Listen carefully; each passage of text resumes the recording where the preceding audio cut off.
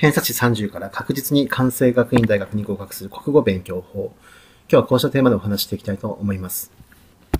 簡単に僕のプロフィールから紹介します。こうした本を書いていますが、僕自身はもう本当に勉強ができないという状態からなんとか4年間勉強して早稲田に合格しました。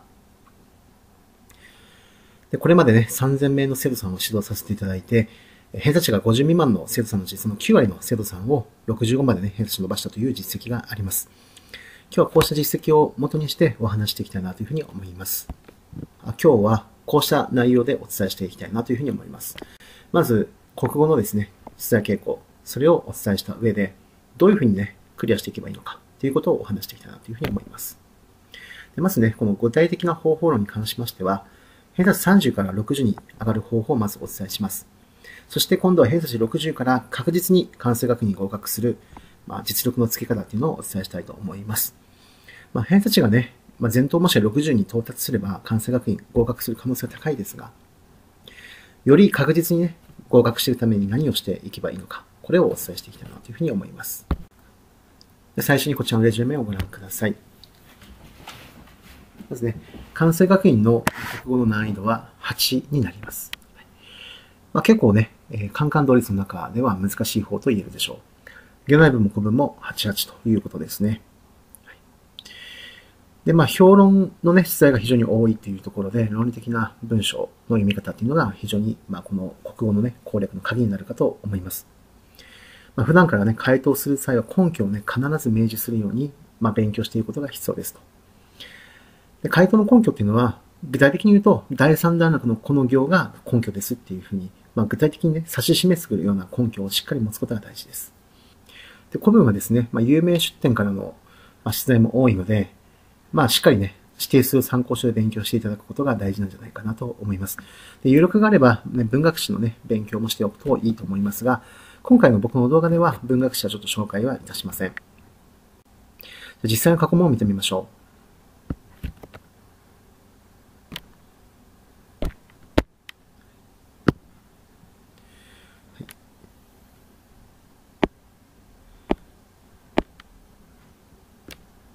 まずは評論ですね。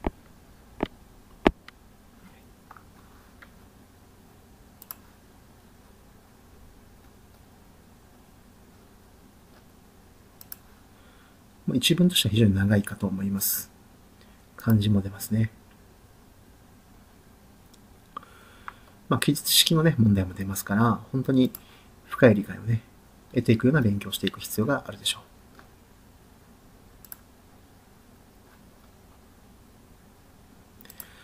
まあ、説問もね、結構多いですね。ただまあ、現代文が1問しか出ないので、まあ、1問の分量が多くなるのは必然だと言えます。で、古文ですね。若干漢文と回し物ものも入っているかもしれませんが、基本的な句法がね、しっかり分かっていれば大丈夫だと思います。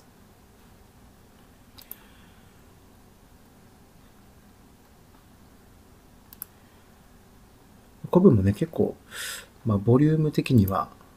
他の大学よりもね、あるんじゃないかなと思います。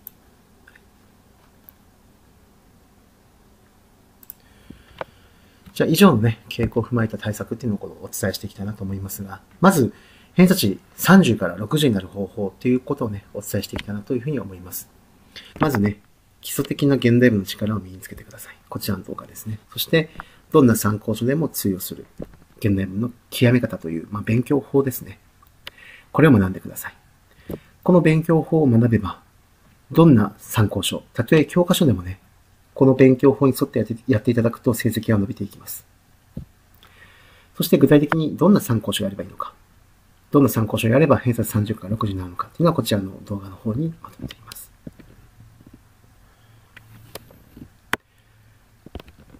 でまずね、最初にやっていただきたい現代文の教材。検索窓で9割から勉強法、現代文とね、受験生入れなくても出てきます。こちらの方に出てきますから、これをまずしっかり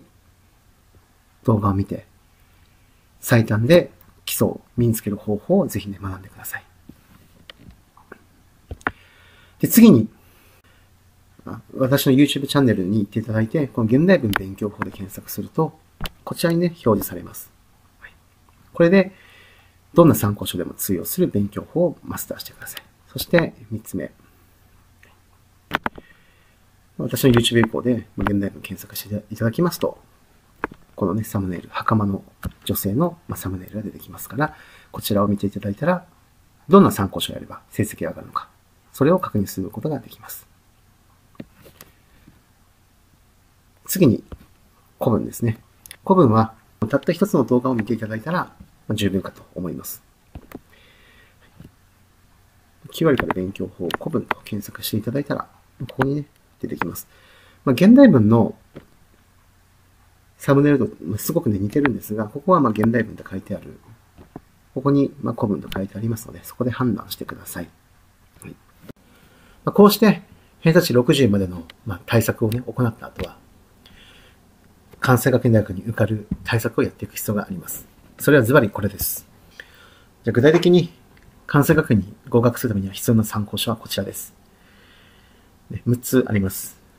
まあ、非常に、えカンカン同率の中でも関西学院のここ難しいですから、まあ、こうした、ね、対策が必要になってきますが、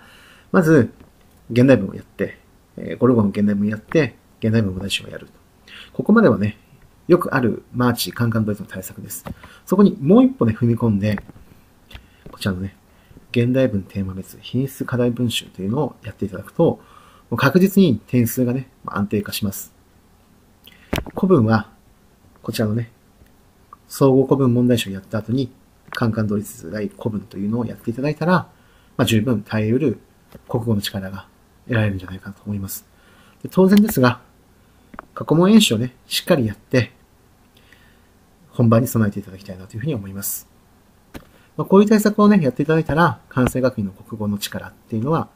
あ、十分で、合格するに耐えうるものができるんじゃないかなと思います。ぜひね、あなたもチャレンジしてみてください。あなたの成功を心から祈っています。